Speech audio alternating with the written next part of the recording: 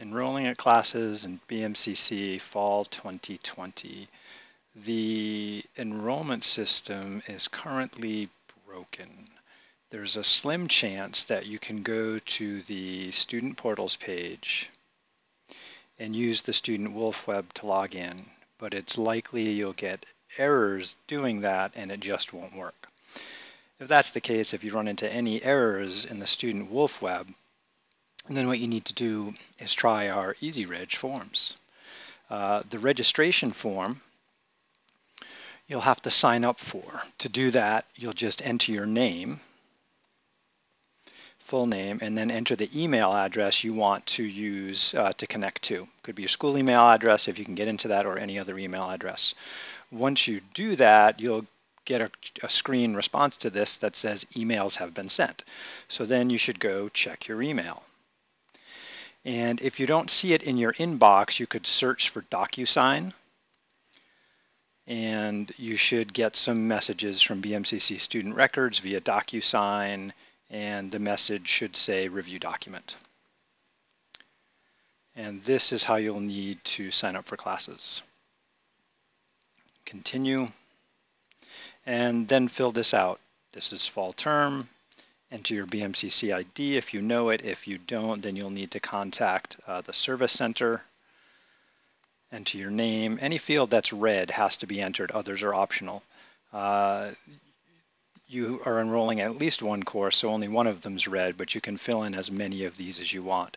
Now, to figure out what courses to get into, we got to go somewhere else. So this form we'll come back to. If you go to the schedule of classes here, then you can search for classes. If you find this search too painful, then you'll need to contact the service center and get hooked up with an advisor. Uh, but there's some information about on the top about how this, this uh, scheduler works. You can either search by keyword in the title of the course, or you can search by the, the course ID. So for example, we have a course called Intermediate Algebra. And so if I type intermediate in there and search, I should find any course whose title has intermediate in it. And so I get some inter intermediate algebra courses. I'm also getting accounting and some other stuff. Uh, alternatively, instead of typing a word that's in the title, if you know it's something like MTH, maybe 095, then you can enter that course ID and search for Math 95s. If you're looking for just a whole bunch of math courses, you could just do the MTH and leave off the 095. And then you should be able to find all kinds of math courses. Uh, and they're in kind of a random order. Now, the problem with this view is it doesn't tell you uh, when the classes meet. So I'll show you that next.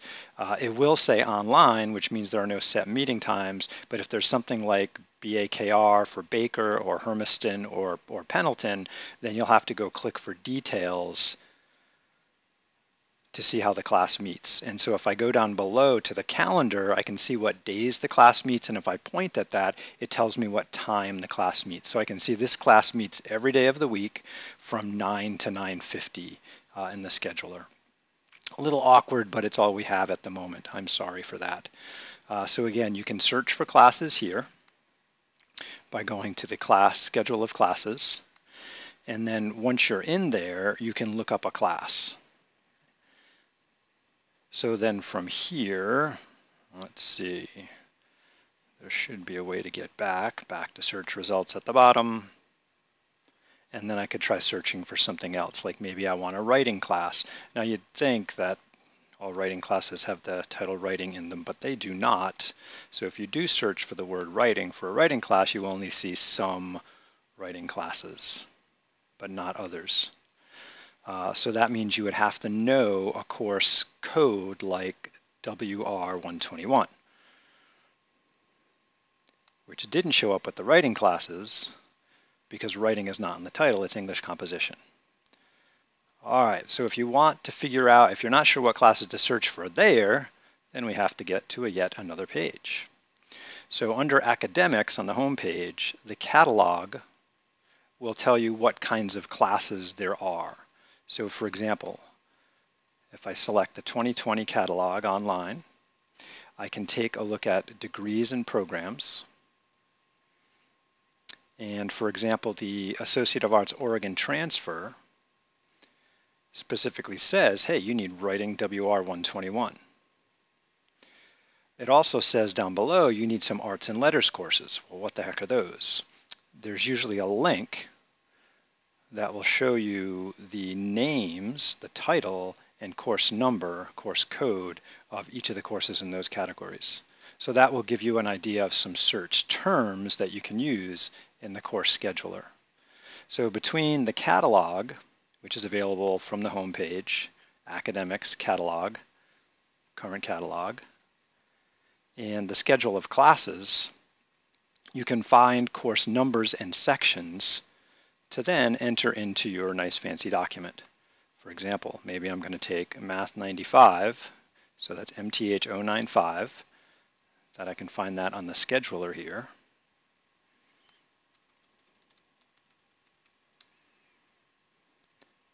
And again, I apologize for the awkwardness of this pick the section that you want. Let's see. You may want to check open and closed here because it could be you want to get on a wait list for a course. So for example, a moment ago, the online one wasn't visible because it's full. Uh, but if I want to get in that class, I need to first get on the wait list so the teacher can then decide if they're going to open up a new section and that's important. So then this online one would be my section. So I can just copy that, bring it over here, and put that in the section. And then what would happen is I'd be put on the wait list for that, and I'd, I'd, I'd then do a follow-up by contacting the college to see if that wait list was going to turn into a real class. And then type or paste the name in there. Uh, instructor name's not going to be visible on most of these uh, unless you dive into the course details. And then down here in the calendar, oops, where'd it go? Oh, this one doesn't even have it. Okay, so the online versions won't show the instructor, but the ones that have meeting times will show the instructor in that calendar that was up there a minute ago. Fun stuff. Thanks for bearing with us. Um, number of credits, you don't have to enter that, but it's not a bad idea to enter that in for your own uh, purposes. and then keep adding classes as you need to. And once you've filled out the top information and all the courses that you want, then you're ready to sign it. It says I need to finish filling it in. Um, and then you can finish it and you're done. You're enrolled.